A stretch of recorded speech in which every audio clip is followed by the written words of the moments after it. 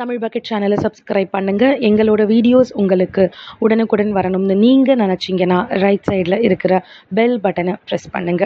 Corona வைரஸுக்கான ஒரு வேக்சினை கண்டுபிடிக்கிறதுக்காக கோழி முட்டைகளை பயன்படுத்தும் உலக நாடுகள். ஸோ இதை கேட்கும் போதே நம்மளுக்கே வந்துட்டு பார்த்தீங்கன்னா பகீர்னு இருக்குது ஒரு கோழி முட்டை தினம்தோறும் வந்து மனிதன் சாப்பிடக்கூடிய ஒரு கோழி முட்டையிலேருந்து கொரோனாவோட வைரஸை வந்து கண்டுபிடிக்கிறாங்களா? எப்படி அது? அப்படி வந்து கோழி முட்டையிலேருந்து தான் கண்டுபிடிக்கிறாங்கன்னா அந்த கோழி முட்டையே சாப்பிடலாமே அப்படிங்கிற ஒரு சந்தேகம் உங்கள் எல்லோருக்கும் கண்டிப்பாக இருக்கும். ஸோ அந்த சந்தேகத்துக்கான முதல் பதில் பார்த்தீங்க அப்படின்னா முதல்ல வைரஸை வந்து போக்குறதுக்கான வேக்சினை எப்படி கண்டுபிடிக்கிறாங்க கோழி முட்டை மூலியமா அப்படின்னு நீங்கள் தெரிஞ்சுக்கிட்டீங்கன்னா அதற்கான பதில் கண்டிப்பாக நம்மளுக்கு கிடைச்சிடும் ஸோ முதல்ல கோழி முட்டையை வந்து எடுத்துப்பாங்க. ஸோ அந்த கோழி முட்டையில் ஆராய்ச்சியாளர்கள் வந்து நோய் கிருமிகளை வந்து அதற்குள்ளே வந்து செலுத்துவாங்க. அப்படி அந்த கோழி முட்டையில வந்து ஊசி மூலியமா நோய் கிருமிகளை கோழி முட்டைக்குள்ள செலுத்தும் போது பல் மடங்கு அந்த கோழி முட்டைக்குள்ள அந்த நோய் கிருமிகள் வந்து அதிகரிக்குமா? அப்படி அதிகரிச்ச உடனே அந்த கோழி முட்டையில் இருக்கக்கூடிய நோய் கிருமிகளையும் அதை விட்டு சென்ற நச்சுத்தன்மைகளையும் தனிமைப்படுத்தி அந்த நச்சுத்தன்மைகள்லேருந்து பார்த்தீங்க அப்படின்னா ஒரு வேக்சின் வந்து உருவாக்குறாங்க. அந்த வேக்சின் நம்ம உடலுக்குள்ளே செலுத்தும் போது ஒரு வேளை அந்த நோய் கிருமிகள் நம்ம உடம்புல வந்து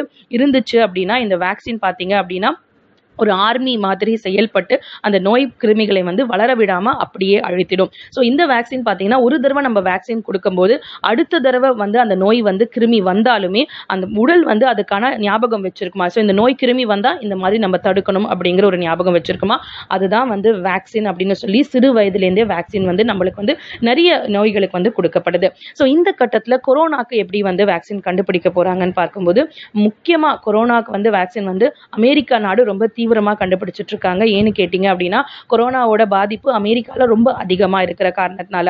ஸோ அமெரிக்காவில் இருக்கக்கூடிய எண்பத்தி ரெட் எண்பத்தி ரெண்டு வகையான வேக்சின் வந்து பார்த்தீங்கன்னா கோழி முட்டைகள்ல தான் வந்து கண்டுபிடிச்சிருக்காங்க. ஸோ அப்படி வந்து கொரோனாக்கும் கோழி முட்டையிலேருந்து நம்ம வேக்சின் கண்டுபிடிப்போம் அப்படின்னு சொல்லி ஆராய்ச்சி செய்யும் போது ஒரு மிகப்பெரிய அதிர்ச்சி காத்துட்டு இருந்துச்சு அதாவது கொரோனாவோட வைரஸை கொரோனா அந்த நோய் கிருமியை வந்து கோழி முட்டைக்குள்ள ஊசி மூலியமாக செலுத்தும் போது மற்ற மற்ற வந்து மற்ற நோய் கிருமிகள் வளர்ந்த மாதிரி கோழி முட்டைக்குள்ள கொரோனாவோட வைரஸ் அந்த நோய் கிருமி வந்து வளரவே இல்லையா? ஸோ இப்போ என்ன செய்யறது அப்படின்னு பார்த்தீங்கன்னா ஆராய்ச்சியாளர்கள் ரொம்ப வந்து பயத்தோடு இருக்காங்க. அதையும் தாண்டி கூடிய விரைவில் கண்டிப்பான முறையில் வந்து கொரோனாக்கு வேக்சின் கண்டுபிடிக்கணும் அப்படிங்கிற ஆராய்ச்சியில் ரொம்ப தீவிரமாகவும் இறங்கியிருக்காங்க.